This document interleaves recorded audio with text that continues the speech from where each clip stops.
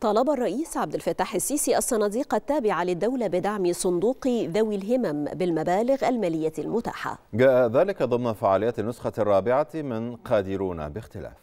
طيب قبل قبل ما أسيب بس قبل ما أسيبكم آه أنا كنت بسأل وزير الشباب بقول له أخبار آه الصندوق بتاع الرياضة إيه؟ أو الصندوق بتاع ذوي الهمم يعني.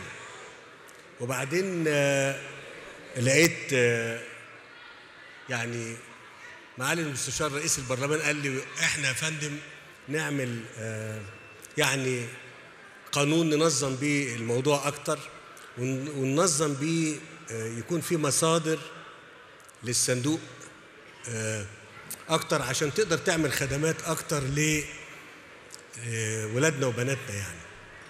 وأنا كنا من كام يوم كده بنتكلم على الصناديق وكلام من هذا القبيل واسمحوا لي إن أنا بطلب من دعم الهيئات اللي أنا هقول اسمائها دي أو الصناديق اللي أنا بقول اسمائها ديت هيئة قناة السويس الصندوق بتاعها يطلع 100 مليون.